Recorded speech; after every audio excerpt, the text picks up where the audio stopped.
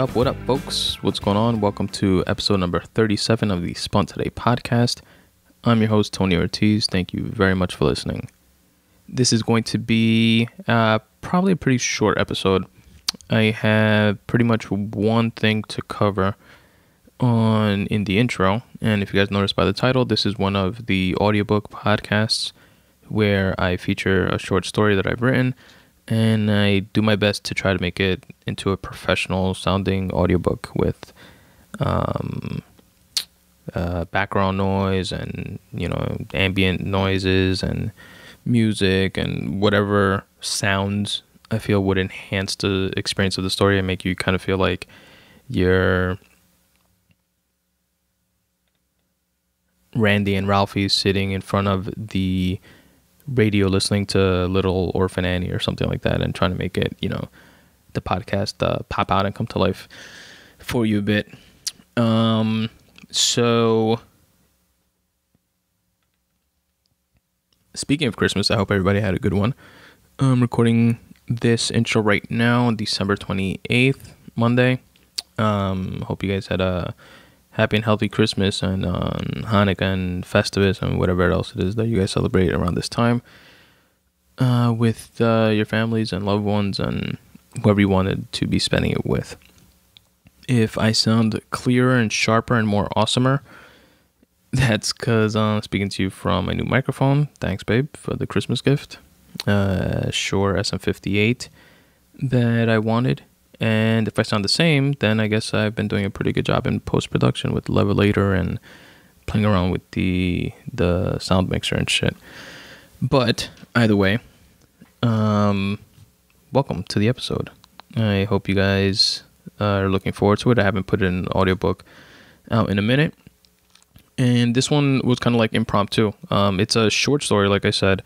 Um, like a micro story. It should be. It's like really short. It's uh, about a thousand words, uh, just shy of it, I believe, if I'm not mistaken. And it's the quickest short story that I've ever written, uh, which I don't know if that's a good thing or a bad thing. But the I started writing it on Christmas, actually on the 25th. I got the idea for it sometime during that week when I went out to lunch uh, about my job, and um uh, what you call it? Uh, was uh, at Smashburger by my job, and um, it was my second time there. It's not that good. Not that I, I hadn't heard of it before. I went to it once, like when it opened up. It opened up like around my job. Hadn't been back to it since. Went back and first time I had a like an avocado burger or something like that. It was decent.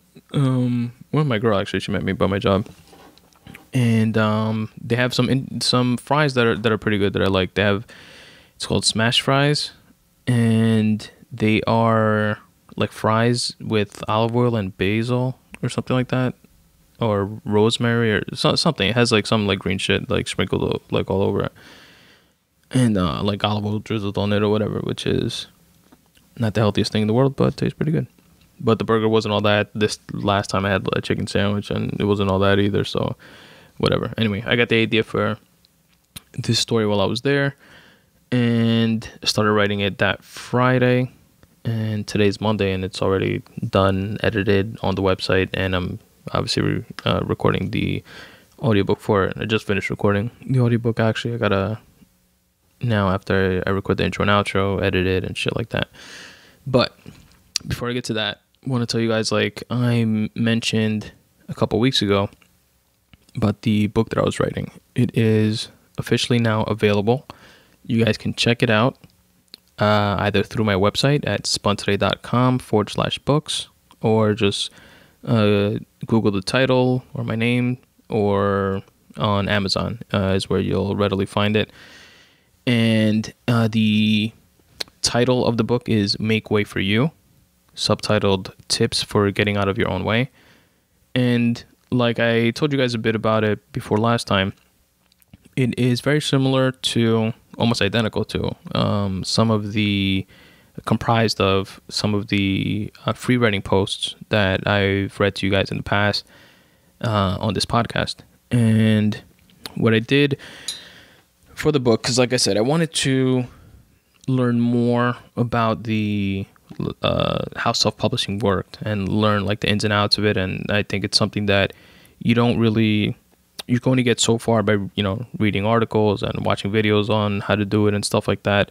Then you get like another added layer to that. That's all a billion percent helpful and useful, and and it's where I would recommend everybody to start. You know, researching about it. Uh, but you get a little, you get that last final layer of certain insights into it by actually doing it. And I didn't want to put out um, something I wouldn't be proud of, especially you know not just because it's my first, um, or not just because it's a published work, but because it's my first published work, and um, it's something I want to look back on and and be proud of, even though I'll probably look back on it in a few years and be like, God damn, that's shitty writing, but um, I would be happy if that's the case because that means that I would be getting better, right? Which is the idea with this type of stuff with honing and shaping and bettering your craft. And so my first idea for that I thought the first thing that I thought I would publish would be a collection of short stories. And I didn't want to like rush you know just throwing out a few short stories and you know putting out like a, a 10 page book or something like that uh, just to learn the process. I didn't want it to be crap, right? This coming from the guy that just wrote a short story in fucking three days, but I didn't. Um, I didn't want that that to be the case, and at the same time, I I want to learn how the how the process works, and I got the idea to um to go through my free writing because I have notebooks full of like this free writing stuff. The stuff that you guys see on the website, spuntoday.com forward slash free writing, is uh, just some of it. It's like tip of the iceberg of it. I have notebooks full of free writing um, uh, pieces. And I started going through, uh, I got the idea to see if I can put together some sort of themed book comprised of all the free writing pieces. And like you guys know, most of the free writing stuff, it, it's like insightful stuff and and and uh, motivational and inspirational, and it's usually written towards myself. It's like very like cathartic and therapeutic for me to do, which is why I love doing it. And I've learned a lot about myself by practicing that. And I felt that that coupled with other things like reading and listening to podcasts and stuff like that, I've kind of come into my own, so to speak. And you know, the podcasting, of course, obviously. And um, it's that was definitely a tool that got me to where I am. You know, not that I'm anywhere special or anything like that, but um, much happier with myself and uh, I'm in a good place in my life. Um, and I, you know, when going through through the notebooks um, that you know are up to I believe go back three years. Um, when I first started uh, putting them into actual notebooks and stuff like that, and keeping them like in a central central place, I started seeing that through line of motivational and inspirational uh, type of stuff, and you know, uh, get up and you know give myself a kick in the ass every every once in a while, and I see that through line, and it's something that um, I had enough. I felt to you know go through again, um, slightly edit for you know obviously for um, grammatical errors and and just for for shaping the context a little bit more. Um, and it's 74 different I'm sorry, it was 74. It's 72 different pieces. Um, and I'll give you guys a little quick tangent of why I went down to 72 from 74. It was 74 and it, it was, I don't know, I'm weird with like numbers. I want them to like mean something and, and, um, I landed on 72. I removed two that I was kind of like forcing into the the narrative of of uh, what the book is supposed to be, Um, so I shaved off those two and landed on 72, which I was happy with because that's uh, according to Graham Hancock and his latest um, his latest book. The his first one was Fingerprints of the Gods, and now he just came out with another one recently. I forgot the title of it, the title of it, but according to him and his, you know, not according to him, but something that I heard him speak of was that there are 72 uh, dimensions in the universe or in the planet or something like that, or realms, 72 realms and 72. The number 72 um, has some sort of universal and historic significance when it comes to realms and dimensions and solstices and equinoxes and a whole bunch of other shit that I don't know how to how to properly explain. So look it up if you guys want to. And um, so I landed on that, and so it's seven, the book is comprised of seventy two individual pieces that uh, have a that through line of motivation and inspiration and just getting out of your own way, which is the subtitle "Tips for Getting Out of Your Own Way." And it's modeled after Steven Pressfield's The War of Art, which is uh, written in a similar style. I borrowed that from from him, and my hope, honestly, is that it could, you know, if it one person reads it and you know one passage in there happens to spark some form of inspiration in them that that gives them that kick in the ass that they need to you know get up and do what it is that they want to do, then that's the purpose of it. Then it's met and fulfilled its purpose. And it's already done that with me. So I just wanted to share that with you guys. And like I said, it's available. The ebook right now, right now, on December 28th, is 2015, is available for free uh, for all Kindle Unlimited subscribers. So if you have I think if you just have like Amazon Prime, it's free for you. Um, but Kindle Unlimited subscribers, um, you can download it for free. All I ask is that you please review it. Let me know what you think, um, preferably a five star review, and then separately email me and tell me if you think it's shitty and, and stuff like that. But hook it up with the five star review. and um, aside from that, it's uh, for any other if you you know if you don't have that Kindle Unlimited thing, it's just three ninety nine uh, for any of your e-readers, you know, iBooks, your iPhones, your oh on the iPhone, um, you can just download a free Kindle app if you want, and then you know download it onto there. So uh, it's very compatible with that, or it does work with iBooks, which is already on your phones, um, and you know any of the other phones that you have and stuff like that. So I'm sure you know what the e-readers are for that. If not, just download the free Kindle app, which I'm sure is free for all of your phones. And the paperback, I am waiting for the proof of it, um, which is should be coming any day now. And then once I approve that, it's going to be ready um, and available for purchase uh, through Amazon as well at a price point of eight ninety nine US dollars uh, for you guys to check out if you so choose.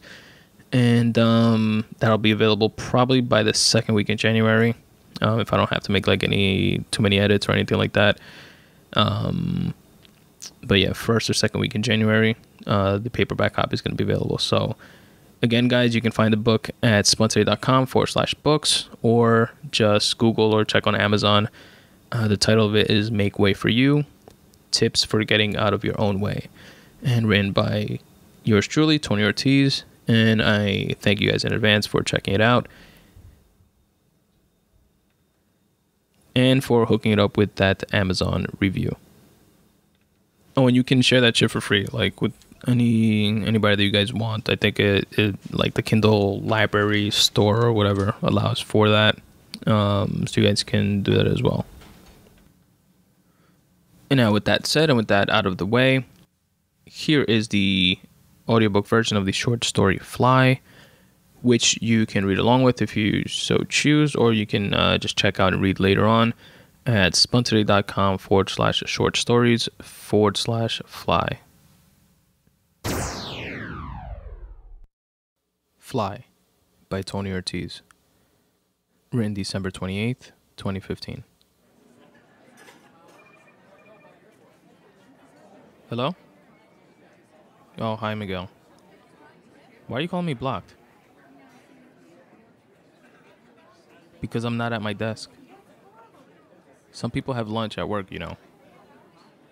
Yeah. Yes, I said. I'm with Maritza. Okay. I have to stay a little later again today.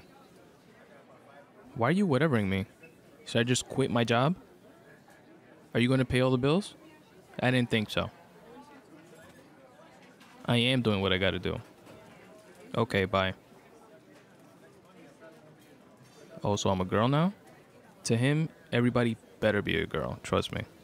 I'm not in the mood for his shit right now. What are you in the mood for? Well, you heard what I said.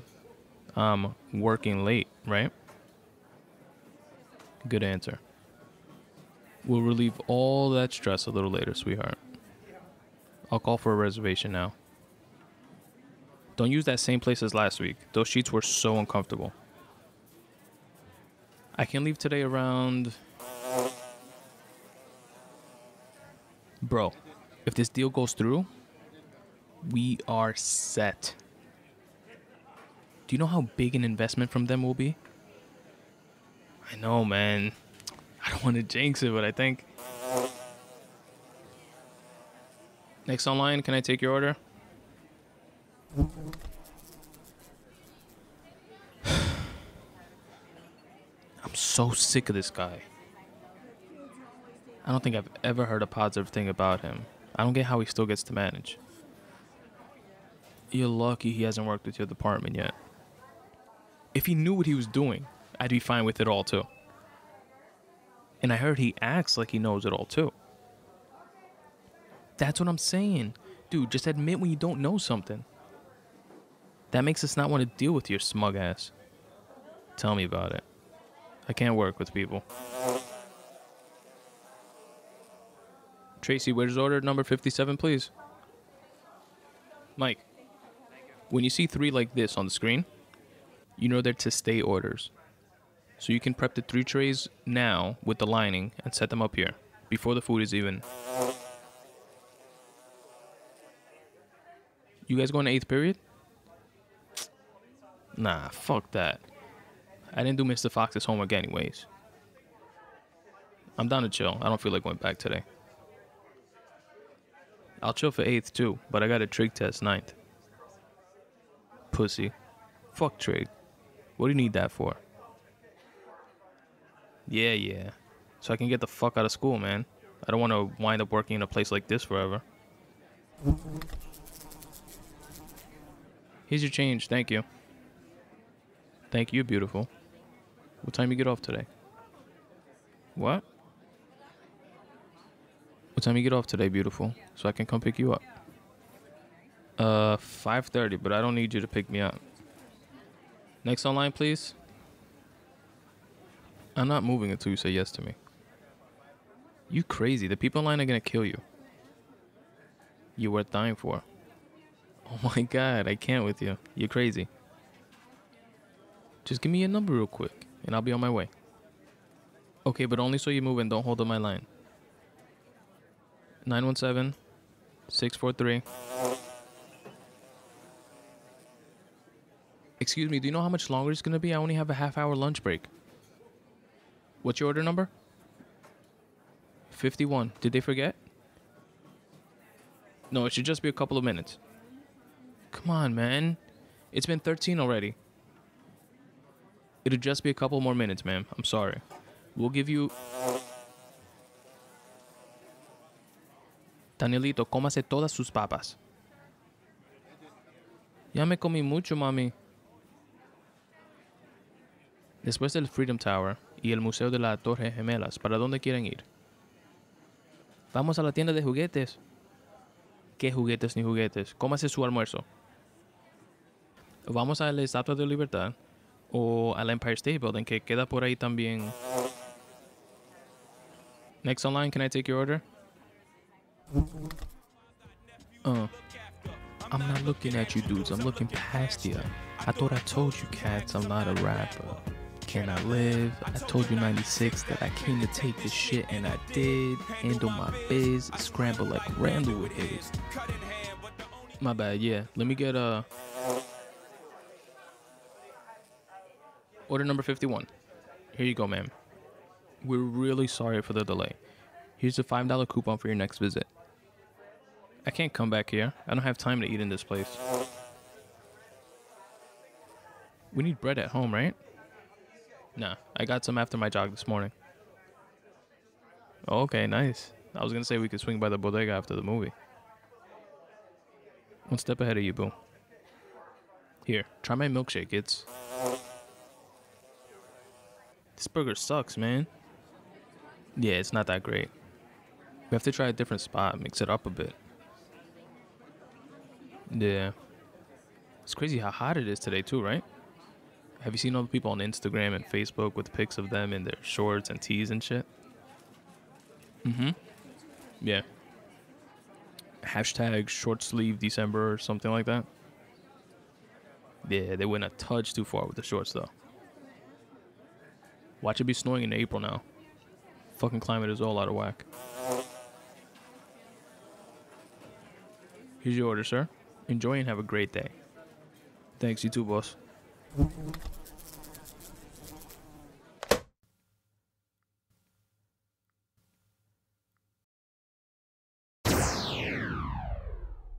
And that's it, folks. That's the story. Do you guys think the fly died at the end? I do. So yeah, like I told you guys, the I got the idea for the story when I was at um, uh, this burger joint by my job, and I was just standing around, people watching, and and we kind of loose. Uh, well, I don't know. Maybe it's just me. Maybe I'm fucking nuts. But everybody feels like they are like in the Truman Show. Like the world revolves around them, and sometime before you die, the veil's gonna lift, and everybody's gonna pop out and say, "Ah, you were on TV the whole time," or "We got you," or whatever. And there's an innate self-centered part to all of us, I think, that have at one point or another thought that, or somewhere within the realm of that possibility. And I think it's important to notice and realize and kind of like take a step back and outside of yourself, for lack of a better term, every once in a while and realize that everybody around you has their own shit going on, you know? I mean, I know we know that uh, like peripherally, we know that intellectually, but really get that. And and try to empathize with the fact that people have their own shit going on, their own problems, their own goals, their own achievements, their own sadness and issues and trials and tribulations and and happy moments and sad moments and and the, everything that you go through, other people go through their versions of, and um, I think it's important sometimes to take that step back and realize that and not only while you're people watching with strangers in a random burger joint in the city, but with your family and your loved ones and the people that you care about that are around you, take it upon yourself to show that much more interest in their lives and the shit that they're going through and be there for them and hope that you get the same in return. And understand that when you don't, it's most likely because they're just going through their own shit. And yeah, I guess that's like the underlying premise of the story. You know, everybody has their own little world going on. And I hope you guys liked it. And if you didn't, then you didn't. uh, let me know what you guys think. As always, you can check out the short story at spuntoday.com forward slash short story forward slash fly. And you can write comments on there. You can share it. Uh, you can email me at spuntoday at gmail.com. And uh, that's pretty much it, fellas and girls and ladies and gentlemen. That is the episode. I hope you guys enjoyed it. And to just uh, beat a dead horse real quick and give myself a shameless plug in case I did not sell you with the my first ever publication that I hope you guys check out. I'm gonna read you guys the back blurb that I wrote for the book. See if this entices you a little bit. Ahem. you are all the self help that you need. That's right, you're powerful beyond belief and simply need to realize it. I won't say that this book will instantly unlock all of your mental shackles. That's way too much responsibility for me. But it will surely help you find the keys. You have to be the one to decide to use them or not. Free writing is the cathartic release that comes with writing in a flow state. When you're in the zone, jotting down everything and anything that comes to mind. You'll be surprised how insightful this practice could be. This is the first volume in a collection of freely written thoughts that helped me get through some of my own personal barriers and bullshit. My hope is that they can help you in a similar way. Let's get to a place where we can substitute the mysticism with hard work and start taking steps in the general direction of our dreams. Here's to all of those dormant creators out there. Boom, bitches, three ninety nine. Pick it up, Amazon.com. Make way for you. And I hope you guys have an awesome new year. And um, you guys all know where to find me by this point. Spuntoday.com is our website. Follow me on Instagram and on Twitter at, at SpunToday. Uh, check out the Facebook fan page, facebook.com forward slash SpunToday. Sign up to my newsletter on my website. Listen to this podcast either on Tumblr, on YouTube, on Stitcher, on iTunes, or your favorite podcatcher, on uh, Pocket Cast, whatever you, wherever you want to listen. Or on my website too, by the way. All these episodes are on my website under the podcast tab with all the the episode notes and links that I mentioned in the episode or different songs that I play and shit like that. Which leads me to the song that I'm going to end this episode with. To since it's the last episode of the year, it's the New Year's episode. It comes out on the 31st. Um, and I had planned. I don't know where I got the idea, but it's a song that I've always liked since I was a little kid, and it's like a Christmassy um, Spanish song. It's called Mi Burrito Sabanero, and um, uh, it's just a, a, cool tune to listen to. It gets you in a good mood listening to it. Probably if you don't even understand the language, you it will put you in that um, happy Christmassy mood. Which why the fuck not be in that mood, right? And it's a Mi burrito sabanero a camino de Belén is pretty much translates into um, I'm on my little small donkey on the path to Bethlehem. And I hope you guys enjoy it. That's what we're taking you out with this time. And I will check all you motherfuckers out in 2016. May you have a happy and prosperous new year. Be safe, have fun, and enjoy time with your family. As usual, substitute the mysticism with hard work and start taking steps in the general direction of your dreams. Thanks for listening.